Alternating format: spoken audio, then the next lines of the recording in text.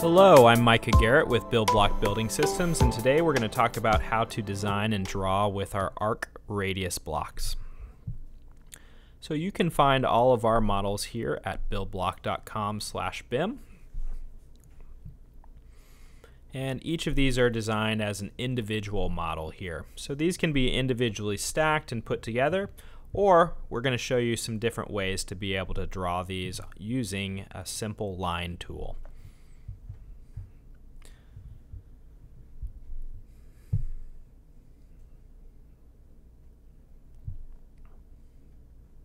These all come in varying sizes. You can see that we have some couple of corners here in the 2 and 4, and then we also have arcs that are 8, 12, 16, and 20 feet. If you go to our website at buildblock.com slash BIM, you'll be able to find some more information on these actual BIM models, and you can go and download them for free. Go here to your Revit families and models and scroll down to the radius section and you can see all of our different models that are accessible to you. Remember that there's some families and also RVT files here, so make sure you're downloading the appropriate one that you want to use. One of the best ways to be able to access this content is to go to our products page and go to the radius section. Here you can download our radius manual and it has a couple of tables in it that are extremely useful for designing and drawing. I definitely recommend downloading the installation manual. From here you can scroll down to a table and that's going to give you all of the underlying geometry that is behind these blocks.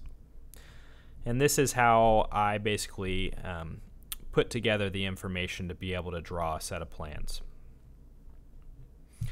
So this has a lot of geometry on it. it. tells me my different radiuses and my different diameters on each of the different arcs on these blocks. Primarily today we're going to be using the inner radius. So when I come back to Revit, I want to make sure that I've loaded in one of the wall types of the block that I'm going to be using. In this case, all of our radius blocks are in 6 inch segments. So I want to make sure that I have that available. And then I want to start reviewing some of these radiuses here. You can notice that you can actually apply a specific radius to each one of these types of blocks, which is going to be information I can derive from the table. One of the first inclinations you may have is to take the wall and to draw this on a simple radius itself using this arc tool. However, that may not align directly to the inner and outer radius of this block system. So the best recommendation is to come here and pick a line tool and go ahead and draw an arc. So I have an arc laid out in place. I can then click it and then I can define the radius that I want this arc to have. If I go back here and let's say we're going to use a BBR 608 which is the 8 foot radius I can see that I have a radius here of 4.18 feet.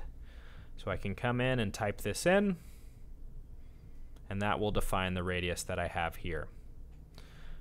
I can now select this line and select the wall here.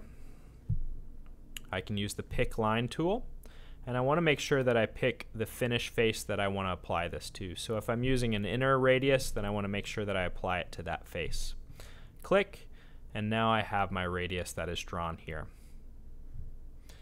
And you can adjust this radius or degree amount of turn that you want to have for your specific set of plans in this case.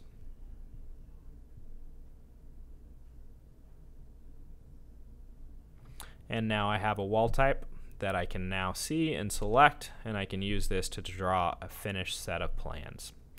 So again, using the simple line tool is one of the most easy and effective ways to be able to draw my line types and please access and download our content at our website. Thanks again and have a great day.